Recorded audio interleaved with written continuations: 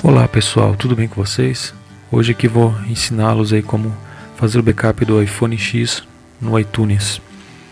Então você precisa aqui de um cabo USB conectado ao seu do seu telefone até o computador. Estou usando o Mac, mas pode ser também um notebook ou PC com o iTunes instalado. Depois que você conectar, você vai aqui do ladinho esquerdo, onde aparece o ícone de telefone, clique nele Aqui você vai ter um resumo do seu aparelho. Trata-se um iPhone X, número de série, seu número de telefone aparece ali. Marque a opção Este computador e depois clique nesse botão Fazer backup agora. Então o backup do seu aparelho vai ser realizado no computador. Você tem a opção também de fazer um backup no iCloud, mas você tem que ter espaço, bastante espaço para fazer lá.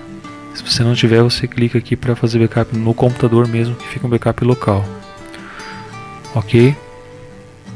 Aqui em cima está realizando o backup do iPhone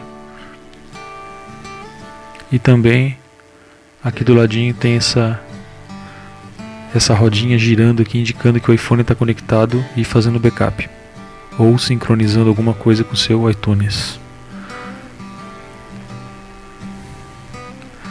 Agora então é só esperar o backup terminar.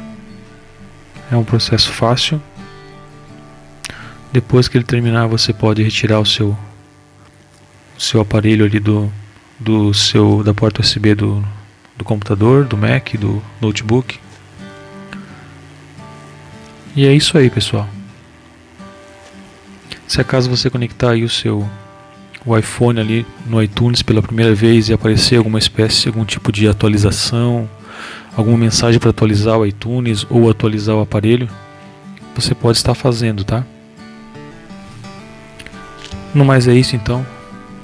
Muito obrigado por assistir o vídeo aí. Se esse vídeo te ajudou aí, deixe seu like, é, deixe o seu comentário aí, se inscreva no canal e até mais.